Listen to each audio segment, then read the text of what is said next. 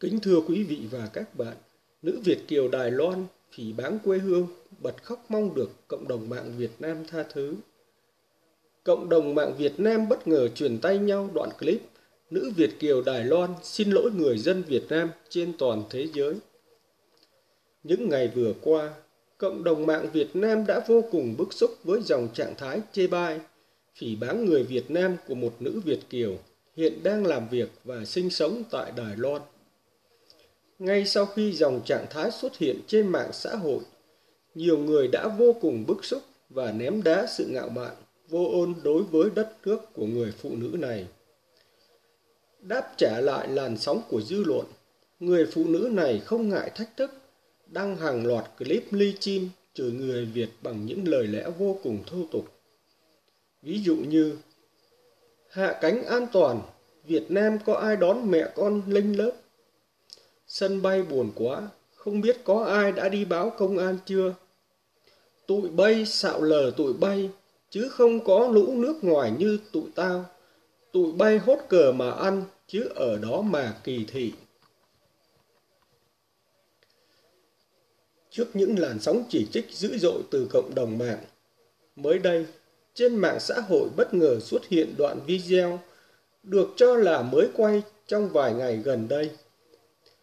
Trong đoạn video này, nữ Việt Kiều đã bật khóc và xin cộng đồng mạng Việt tha thứ. Mở đầu đoạn video, nữ Việt Kiều muốn gửi đến video này đến toàn thể đồng bào Việt Nam trên toàn thế giới. Nội dung như sau. Em biết sai rồi, bây giờ em thành tâm xin lỗi. Bây giờ mấy anh mấy chị chửi gì em cũng được. Em sai thế nào thì mấy anh chị cứ chửi. Em giải thích thì mấy anh mấy chị nói em như thế nào thế nào. Giờ clip của em không lên được nữa, bị chặn và phá hết mấy clip rồi. Em thành tâm xin lỗi đồng bào. Con sai rồi, con xin lỗi.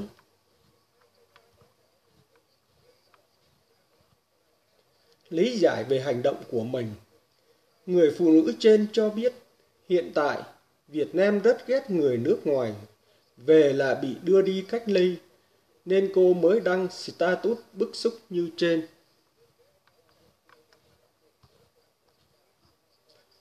Trước đó, người phụ nữ này khiến nhiều người bất ngờ khi dân mạng truy lùng được nghề nghiệp thực sự của nữ Việt Kiều tại nước ngoài.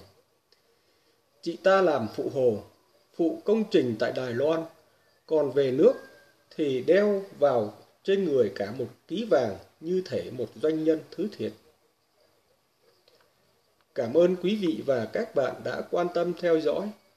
Hẹn gặp lại quý vị và các bạn ở những video tiếp theo.